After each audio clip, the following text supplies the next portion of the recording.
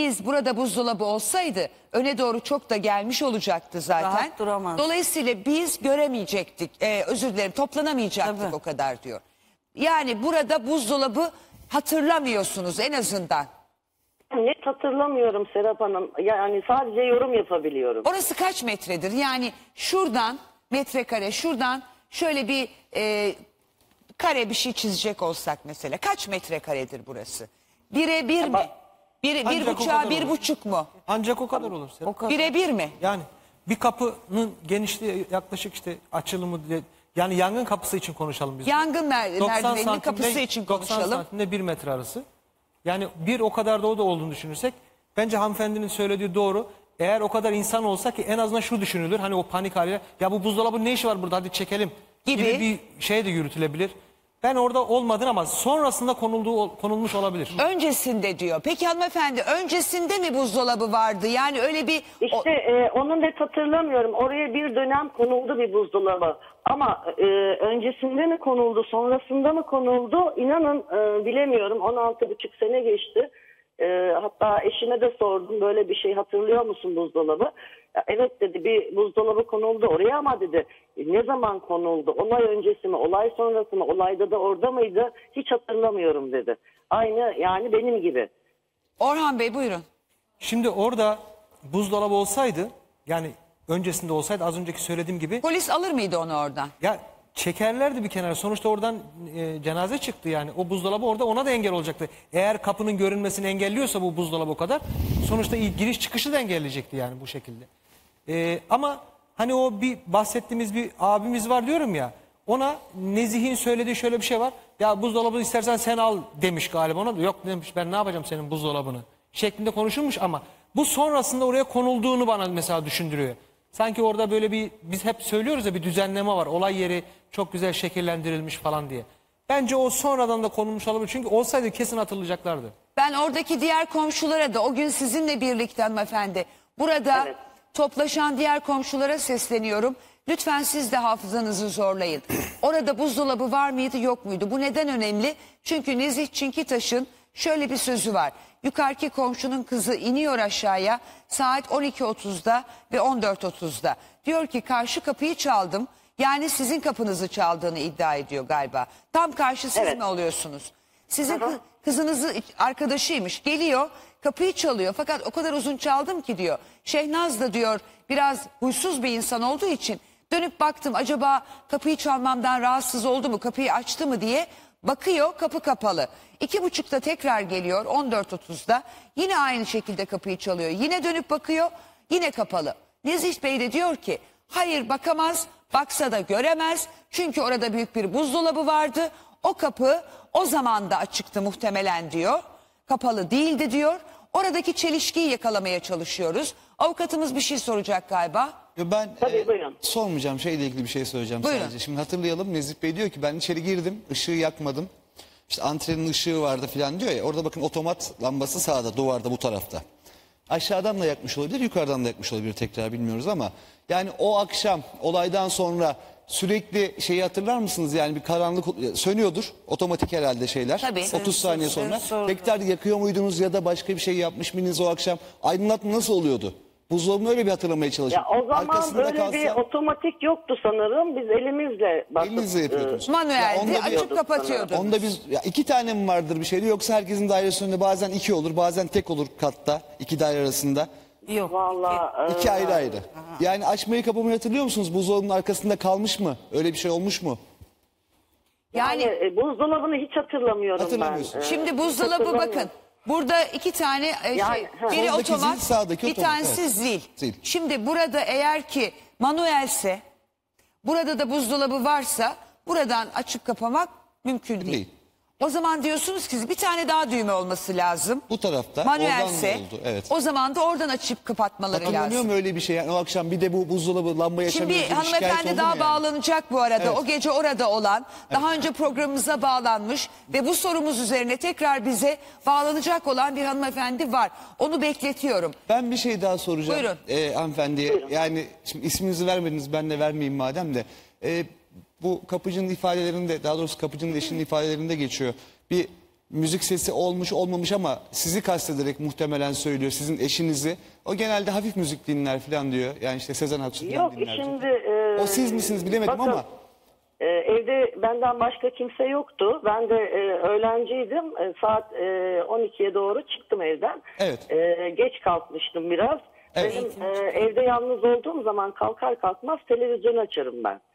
Evet. E, yani e, hani ben olduğum için müzik olması imkansız yani. imkansız. Yani Çünkü ben sizden müzik gelmesi dinlemem imkansız. çünkü kafam zaten e, şey e, bütün gün dolu e, Evet. yaptığım işten dolayı. Hanımefendi siz o gün kaçta çıktınız evden? Ben e, şimdi tam olarak saat e, hani dakikası dakikasına söyleyemem ama e, 11 buçukla 12 arası yani e, çıktım. E, 12'ye 10 kala olabilir, 12'ye çeyrek kala olabilir, 12'ye 5 kala olabilir veya 12 yani en geç 12'de çıkmam gerekiyor yetişebilmem için. genel olarak 12'den önce çıkmanız gerekiyor. Evet, O gün evet. e, bir çığlık, bir bağırma duymadınız. Hayır hiçbir şey duymadım. E, Kesinlikle Şehnaz, duymadım. Şehnaz'ın ya da Nezih Bey'in o gün çıkıp e, gittiğini görmediniz.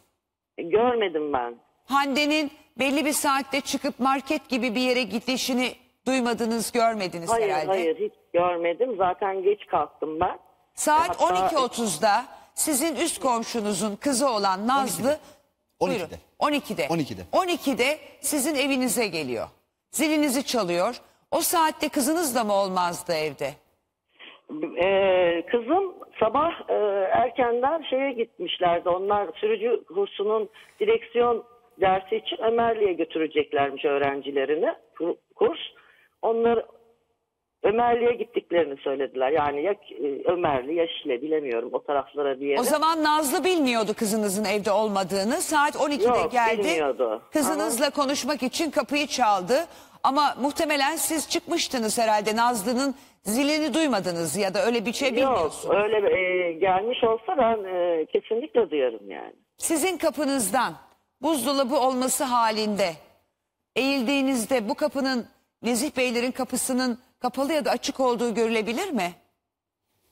Ee, görülür herhalde. Buzdolabı varken, buzdolabı yokken zaten görülür. belki. Yani eğer hani açıklık derecesine bağlı yani bilemiyorum ki e, tam olarak e, nasıldı şey. e, Nazlı'nın gelme istikametinden görülür mü? Üstten iniyor ya. Nazlı'nın gelme istikametinden görülür mü kapının açık veya kapalı olduğu? Size doğru geliyor. Yukarıdan indi koridorda geliyor. Sabahat Hanım'ı alıyoruz telefona. Özür dilerim. Yani- Hanımefendi sizden rica edeyim lütfen bir hatta kalın. Uygar Bey'in sorusunu Tamam. cevaplayacaksınız. Sabahat Hanım sağlıkçı olan hanımefendim. Daha önce Nezih Çinkitaş'ın kızıma bir bakın deyip girdiğinde baktım e, hatta dokundum ölüm katılığı oluşmuştu dediği hanımefendi telefonda. Sabahat Hanım merhabalar.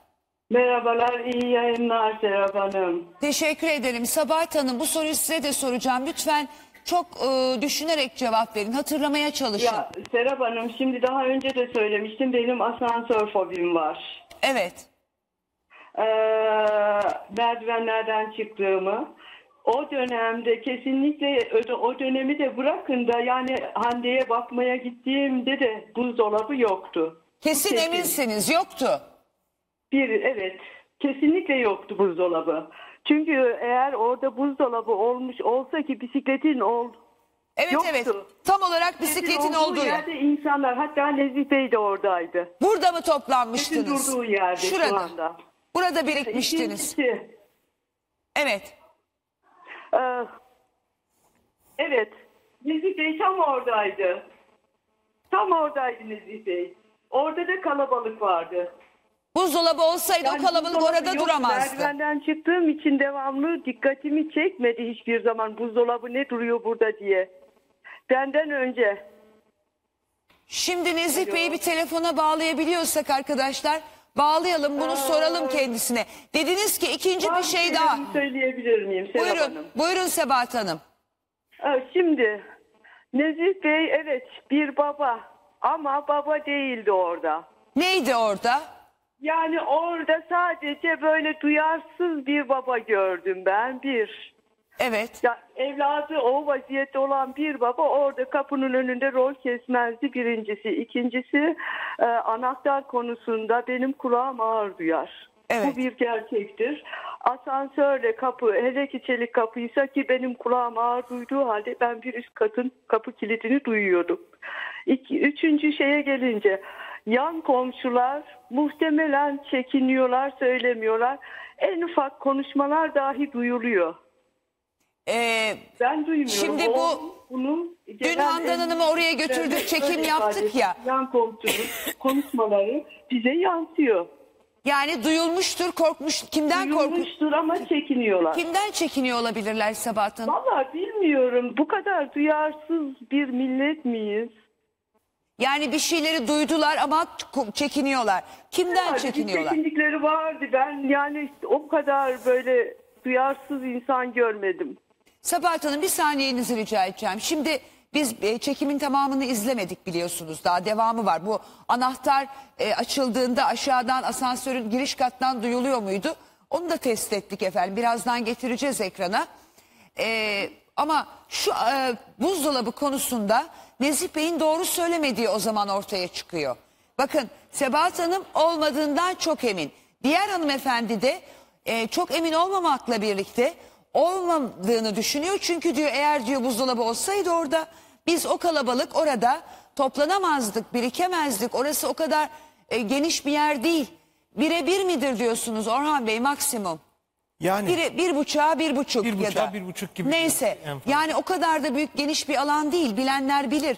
Yani no frost bir buzdolabının e, genişliği falan 80 santimdir. 80 mi? 80 santim 85. uzunluğunu düşünün derinliğini düşünün yani e, oraya girdiğinde bayağı bir yer Yalnız kaplayacak. zaten Nezih Bey üstüne basa basa diyor ki buzdolabı değil no frost diyor. Tabii. No frost daha büyük ya. Yani oraya çok büyük bir şey getirildi.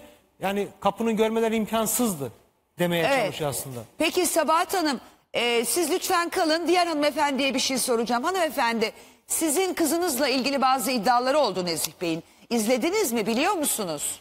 Evet söylediler yani. İşte Ee, e, o yapmış olabilir. E, ne bileyim işte erkek genç kız çocuklar bunlar. Bir erkek arkadaşı varmış da efendim görmüş de Hande de bunu gördüyse susturmak için öldürülmüş olabilir erkek arkadaşıyla birlikte gibi bazı iddiaları oldu. Sizin bu iddialara bir cevabınız olacak mı?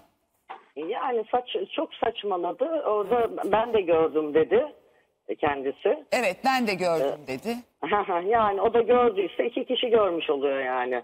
Öyle bir şey olamaz. Biz öyle geri kafalı bir aile değiliz yani. Arkadaşıyla gelebilir. Benim haberim olan şeyler bunlar. E, kesinlikle yani e, zaten e, kızımın nerede olduğu belli e, o saatlerde. Polis hepimizin ifadesini aldı. Yani şunu demek istedim. Saçmaladı yani. Bir de ismimizi e, oralarda söyledi. E, Çok ayıp bunlar. Olmaması gereken şeyler. Yani biz her ne kadar ismini vermeyin desek de insanların o böyle üstüne üstüne gitti. Ben biliyorum. Ee, fakat şu var dedi ki yani şunu demek istedi aslında. Yani o kızı görmüş olabilir. O da babasından çok korktuğu için babası duyardı diye kalkıp kızı mı Yok öldürecek? yok Yani böyle bir Ö- saçmalık öyle bir olabilir şey mi? öyle bir şey olur mu Allah aşkına? Yani biz e, e, şey değiliz yani öyle geri kafalı bir aile değiliz.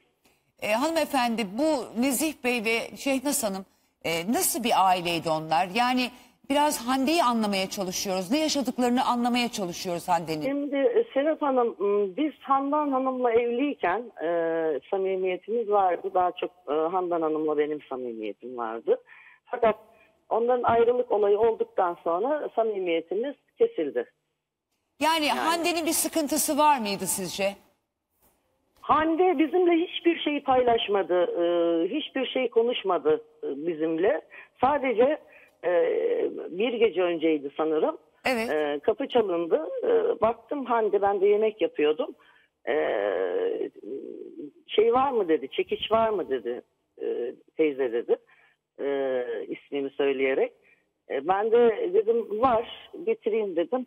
Getirdim çekici verdim. Ondan sonra e, tekrar yemek yapmaya koyuldum. Hayır. Arası 5-10 dakika geçmedi. Evet. Tekrar kapı çalındı. Evet. Bu sefer de yine Hande dedi ki e, tarak var mı dedi. Ne var mı? Bu se- tarak. Tarak. Evet. Aha. E, dedim Hande dedim ne yapacaksınız bunları dedim. Ya dedi e, teyze dedi şey yapıyoruz da dedi biz okuldan ödev verdiler dedi. Ev işi E, halı, halı Ev işi. e, yapacağız da dedi. O dedi çekişlerle çivi çakacağız dedi. E, tarakla da dedi böyle böyle çekeceğiz aşağıya doğru dedi. ipleri Peki dedi. sesi duydunuz mu sonra peki o işlemi yaptılar mı sizce? Valla bir onların dairesinin kapısı kapalıyken bizimki de kapalıyken inanın onlardan hiçbir ses bizde duyulmuyordu. E, çünkü hiçbir Arada duvarımız yangın bitişik merdiveni var. değildi. Yani Arada şöyle yangın baktığınız merdiveni- zaman Ama arada yangın merdiveni var ya ondan çekiç, o evde bulunan çekiç size ait değil mi efendim? O mu? Yani Ama o Kapıcıdan kapıcıdan. alınan. Kapıcıdan, Kapıcıdan alın. Kapıcı o akşam Şimdi yani o e, Bir dakika. çekiç, e, apartmanın da herhalde e, ben de hatırlayamıyorum net olarak bizim miydi kapıcının mıydı yoksa Kapıcı binanın şöyle demiş. mıydı? Önce kapıcıya soruluyor. Ee, o da diyor ki ben şeylere verdim size sizlere verdim diyor. Sizde size geliyor daha sonra. Hande sizden alıyor. Önce Ha, kapıcıdan evet, istiyor evet. sonra sizden alıyor. Yani Sizde olduğunu kendisini öldürecek olan suç aletini Hande kendi elleriyle almış oldu değil mi? Çok acayip bir şey, çok acayip bir kader. Gitti elinden aldı hanımefendinin ev işi, el işi dedikleri şeyleri yapmak için. Ama sonrasında o e, Hande'yi öldüren suç aletlerinden birine dönüşmüş oldu. Hanımefendi rica ediyorum hatta kalın. Çünkü biz o dün Handan Hanım'ı binaya getirdiğimizdeki görüntüleri tamamını izlemedik. Bir soru daha var çok önemli. Anahtar sesi duyulur muydu? Yunus dedi ki ben yüzde yüz eminim. O gün dedi bekliyordum asansörü kapıda e, Nezih Çinkitaş belirdi dedi apartmanın kapısında. Ben açtım kapıyı içeri girdi bir kat yukarı çıktı ve ben asansör beklemeye devam ettim. O arada Nezih Çinkitaş'ın dedi anahtarıyla çelik kapıyı açma sesini net olarak duydum dedi. Ve gitti savcılığa bu konuda ifade verdi. Biz dün bunu test ettik efendim. Acaba duyuluyor mu, duyulmuyor mu? Buyurun.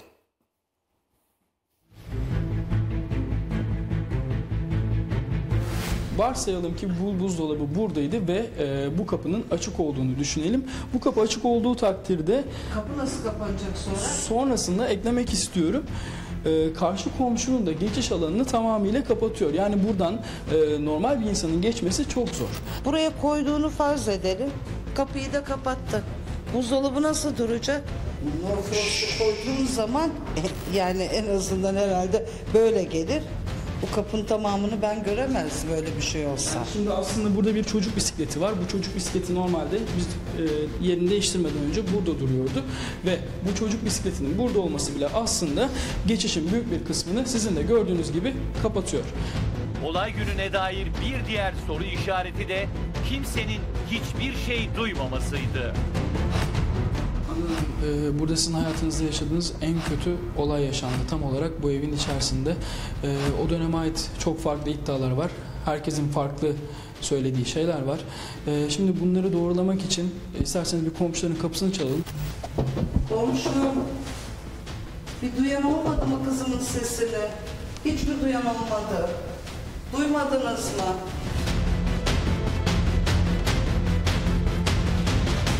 Anladım. Şu anda olayın yaşandığı evin hemen yan dairesindeyiz. Yan komşu sizin ve duvarlarınız bitişik. Eğer e, böyle gürültülü bir ortamda tanık olabilecek tek kişi. Evet. Mutfak duvarlarımız bitişik. Yani yüksek bir bağır, bağırma sesi olsaydı muhakkak duyulurdu.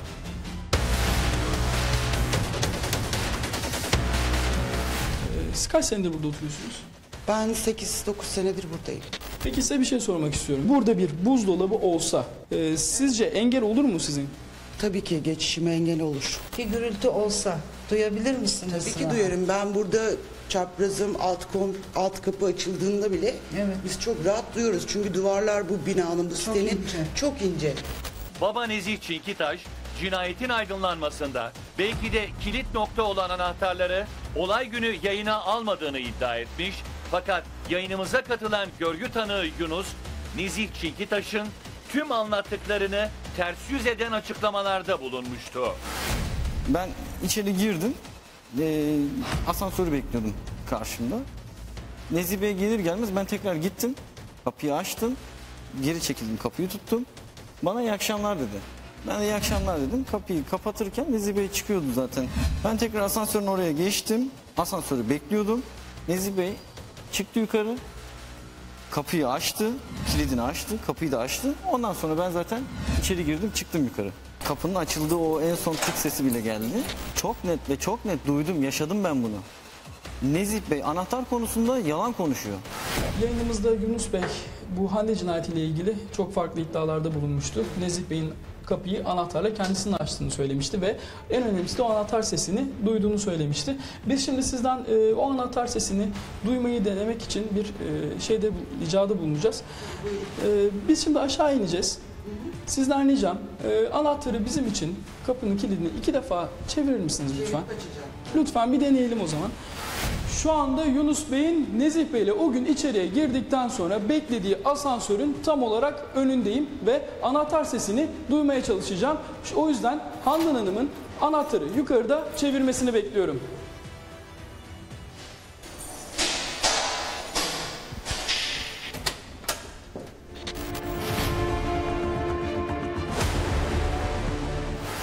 Asansör bekliyor. Ben birinci kata çıkıyorum. Anahtar Evet. tutuyorum ve gözüyle alt kattan beni görüyor. Hayır anahtar sesini duymuş. Ya bırak. Bayağı kapıyı açtı ve girdi diyor. Olmayan bir palavrayı birisi orada yalan. Ya apartman kapısından bahsediyor. Zeminde o. Tamam, ben açtım diyor. yukarıya çıkıyorum. Öyle mi? Bak, Ya aynen. kardeşim ben asansörle zaten Bir durduralım. Ee, anahtar sesi palavra dedi duyduğunuz gibi. Önce gördü mü dedi. Biz biz dedik ki e, hayır sesini duymuş dedik. Palavra dedi. Lütfen o bandı o kısma bir daha gelelim arkadaşlar. Tam olarak e, Beyazıt aşağıda bekliyor. Yani Yunus'un beklediği yerde. Asansörün önünde yukarıda bir yukarıda kapı açılıyor. Bir daha o sesi duymak istiyoruz.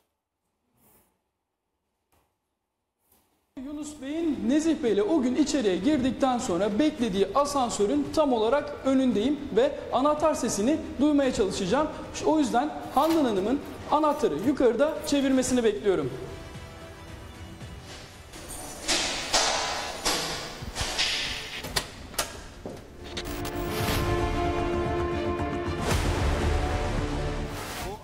Daha ne kadar net duyulabilir acaba? Ha, Orhan Bey? Bir de mikrofon yani normal duymak falan da değil yani. Ha. Mikrofonun algılaması değil mi? Mesela Evet. Şurada konuşsa çok yüksek gelecek duyulsun. Evet. Yani net duyuluyor ya. bundan daha net nasıl duyulabilir? O zaman da çelik kapıymış zaten. Dolayısıyla açılma sesi daha da e, büyüyor çelik kapı olduğu için. E, devam edeceğiz ona. Bu arada şu bilgiyi de hemen yazmak istiyorum arkadaşlar unutmadan. Hani buzdolabı konusuna tekrar dönecek olacak, olursak diye. E, ortalama standart bir no frost buzdolabının 70 santim derinliği varmış. 70 santim genişliği varmış. Ee, ve de e, minimum hani 1.80 e, boyu varmış efendim. Yüksekliği varmış. Evet. Bir de o yangın merdiven kapısı sanki 70 biraz daha santim dar minimum mıydı? yani minimum. Yok yok sanki böyle Yangın merdiveni yani normal 80 kapıya göre biraz daha dardı sanki. Yangın merdiveni Zaten öyle oluyor. Öyle yani ekranda eski bina ya daha dardı sanki yani şimdi standartını göremedik ama videoda biraz daha dardı. Dolayısıyla o alan 70 daha dar santime yani. 70 Dar, dar. santimlik Sonuçta- bir e, buzdolabından bahsediyoruz. O da standart olanından. Sonuçta o e, muhtemelen getirdiği şeyin önündeyse eğer bu e, Evet, yangın yangın çıkış merdivenin önündeyse geriye kalan her iki daire içinde birer metrelik bir alan kalıyor. Şu anda görüyorsunuz efendim yangın merdivenini de. Tabii ki yangın merdiveni kapısı normal bir daire kapısına e, özellikle eskilerde. Şimdi daha da özenli yapılıyor bu işler daha dikkatli ama o dönemde de bakın dar zaten de döner merdiven var burada dönerek iniliyor. Yani şöyle bakıyorum da sahiden burada bir şey olması halinde 70'e 71 buzdolabı olması halinde yani neredeyse kapıya giremeyecekler. Serap Hanım biraz önceki söylediğimiz şeye geliyoruz işte. Eğer Şimdi orada- bir e, özür dilerim bir telefon daha alıyorum banda devam edeceğiz sizin sorunuz var siz bir şey söyleyeceksiniz ama bir Sebahat Hanım daha var apartmanda. evet, Evet. Evet. Şimdi o bağlanıyor. Tamam. Alo. Birazdan. Orhan Bey siz devam edin. Yok şunu demek istiyorum. Az önceki söylediğimize geliyoruz. İşte eğer orada 70'e 71 şey varsa Buzdolabı. orada geriye kalan alan 1 metreli. Sonuçta her ne kadar olay yeri incelemesi bittikten sonra sonuçta cenaze dışarı çıkartılmayacak mı? Yani bu çıkartılırken orada engel olacak. mutlaka o ileri ya da geri taşınacak ve bu da bir o en, en azından o insanların aklında kalır orada. Ki ben Yunus'un o dönemki hafızasına çok güveniyorum. Travmatik bir olay yaşıyor. Arkadaşının ölümünü yaşıyor. Hani orada anahtar sesini duyduğunu çok net hatırlıyor. Duyuluyor. Buzdolabı yoktur diyor. Bütün komşular bağlananların tamamı buzdolabı yok diyor. Eğer var ise bile hadi diğer bir ihtimal düşünelim. Bana göre o buzdolabı da sonradan oraya konuldu. Yani bu cinayetten sonra e, işte Evet. cenazenin çıkmasından belki birkaç gün sonra bir hafta Evet, sonra bir kurgu var yani. Her şeyde bir kurgu var burada aslında. Bir düzenleme var. e, siz Uygar Bey bir şey diyecek miydiniz? Yok Sebahat Hanım konuşsun. Ona bir iki şey soracağım. Diğer Sebahat Hanım ilk defa bağlandı. Sağlıkçı Sebahat Hayır Hanım ama. diğeri. Diğer Sebahat Aşağıya Hanım. inen kızcağızın yani kızımızın annesi olan Sebahat Hanım. Evet Nazlı'nın annesinden Hayır, bahsediyorum. Hayır Esma. Esma Hanım. Esma, Esma özür dilerim. Peki e, hazır mı diğer e, Sabahat Hanım acaba? Telefonda mı? Yani Hayır. bağlanacakmış. Diğer Sebahat Hanım telefonda mı ya da karşı komşu telefonda mı? Kim var telefonda şu anda? Ben buradayım Serap Hanım. Mine Hanım, üst. Serap. Yok Sebahat Hanım. E, Mine Hanım Efendim, merhabalar efendim. merhabalar efendim. E, siz de o gün o cinayet günü kapıda toplaşan komşuların arasında mıydınız Mine Hanım? Evet, Siz buzdolabı hatırlıyor musunuz? hayır buzdolabı yoktu, kapının sonuna kadar açıktı. Biz e, üç kişi önden, bir de arkadan Nilgün Hanım, biz girdik içeriye. Buzdolabı olmadığından emin misiniz? Eminim, sonuna kadar kapı açıktı ve salon gelme gelmeye gözüküyordu.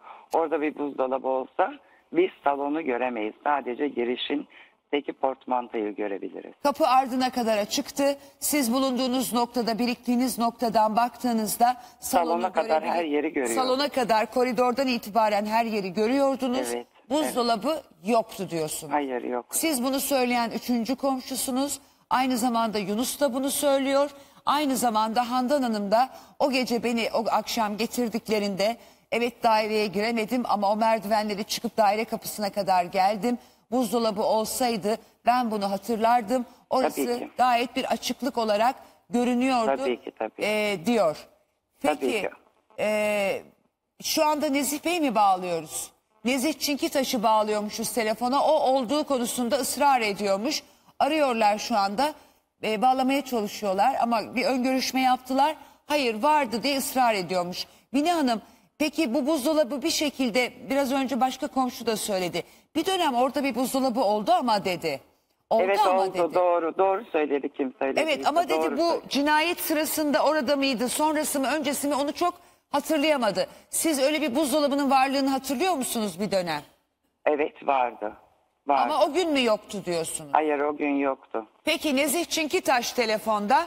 Nezih Bey, Evet buyurun. Komşular üç komşu Yunus Bey ve Ya Handan Hanım. sesiniz çok az geliyor Serap Hanım. Ee, Nezih Bey, Ha, evet. üç tane komşu Handan Hanım ve Yunus o gün buzdolabı olmadığını söylüyorlar. Kimle kim? Handan Hanım'la kim? Handan Hanım, e, Sabahat Hanım, Mine Hanım sizin karşı komşunuz. Ya onlar onlar hayal görüyorlar. Neden biliyor musunuz? Ben kızımın naaşını, cesedini bulduktan sonra kapıya aşır aşır diye gittiğimde komşular o zaman dedim ya o saat iş, iş saat iş, iş saat yani işten dönme saatiydi.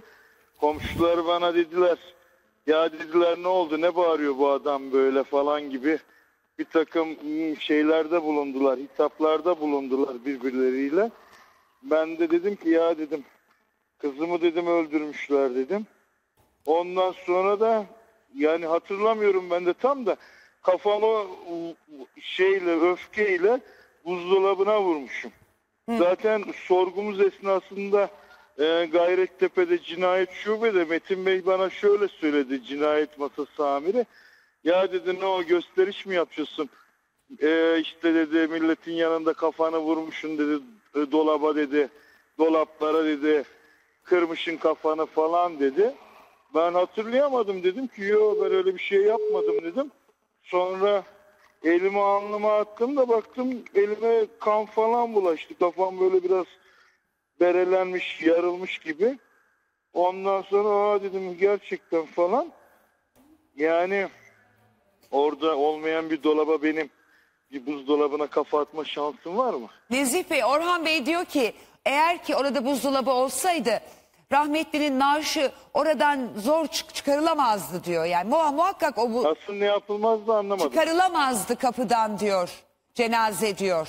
Ya oranın video kayıtları var. Ben Beyazıt'la işte işte bir hafta önce mu- muhabirimiz Beyazıt'la beraber işte Cumhuriyet Savcısı e, Sayın İsmet Acar'ın yanına gittik. Ben e, kendisine söylediğimde şu an tahkikat aşamasında olan dedi bir dava hakkında dedi ben kimseye bilgi veremem. Vermek